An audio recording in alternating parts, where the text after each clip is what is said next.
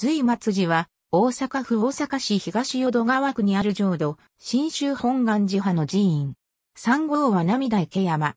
三号の涙池山は、鎌倉時代のこと、平景清が誤って、おじを殺してしまい涙に結びつつ、池で血刀を洗ったという故事によるという。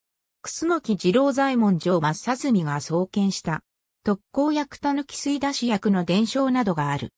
天正9年月、楠木一族の楠木二郎左衛門城正純が、石山本願寺の剣女の弟子となって、なお明道と改めて創建した。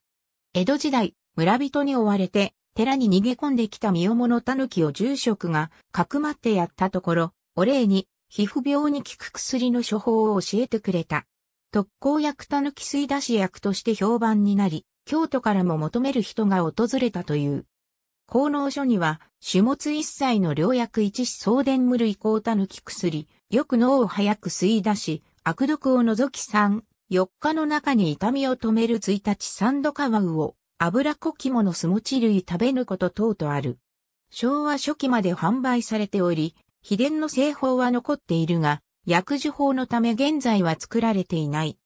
東淀川歴史探訪名所、旧跡を訪ねる町歩き三好貞氏、大阪市東淀川区役職民企画室、企画振興係、財団法人東淀川コミュニティ協会、2005年3月、31ページ。ンシット BA8213939X。大阪市跡辞典、三好貞氏、清文堂、1986年7月、307ページ。全国書士番号、8605-775。淀川流域の伝承淀川流域の伝承淀川区の歴史と文化を学ぶ三好貞氏、大阪市淀川区役所、2004年7月、25ページ。ありがとうございます。